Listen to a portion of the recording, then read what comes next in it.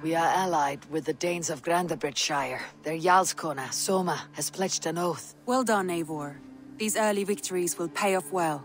Not everything went as planned. Good people died. We have their oaths, but not their admiration. A pity. But we have what we need.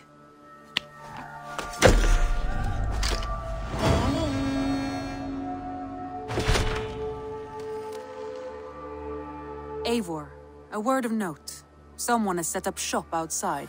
A trader, I believe. When you can, ask him his business here. He seems to represent a larger guild.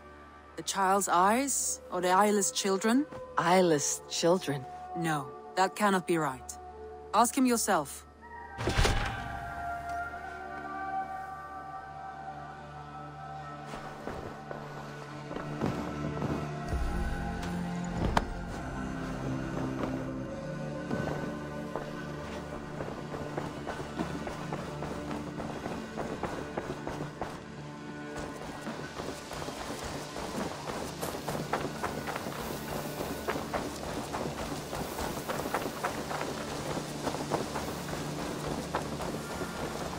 Good day. A new customer. Whether I am or not, I'm the one you'll speak with. Randvi tells me you are merchants. Ah, hello, hello. Are you the leader of this bustling encampment? We come on behalf of a thousand eyes, vendors of uncommon goods and exotic treasures from all corners of the world. If you need it, we have it. If we don't have it, you don't need it. Such is our pledge. I see. And is this child with you?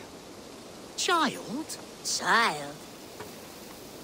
My friend, you look upon the master of the Thousand Eyes, the head of our guild, a legend, a hero of the people, and the richest merchant west of the Indus. You look upon Reda! He means you? He does, Eivor Wolf-Kissed. It is a pleasure to meet you at last. How have you come to know me? The Thousand Eyes have 1,000 years as well, and word travels fast.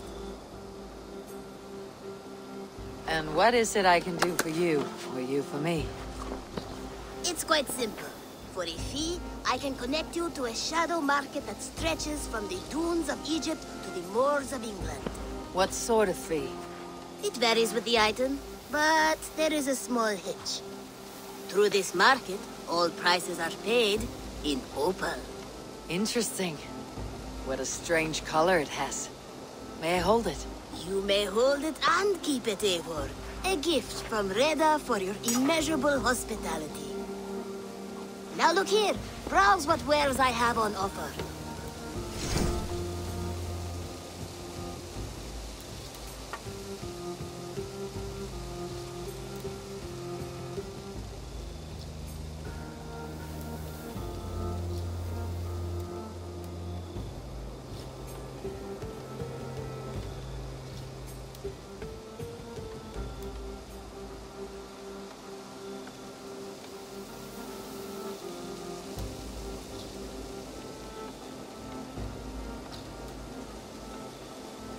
Nothing for now? No matter.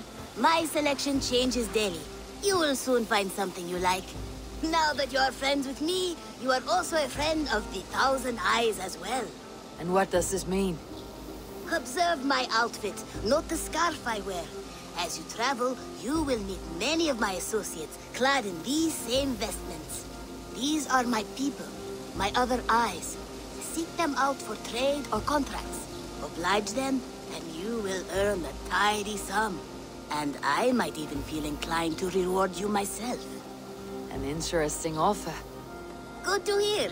Now, if you will excuse us, my apprentice has a tent to secure.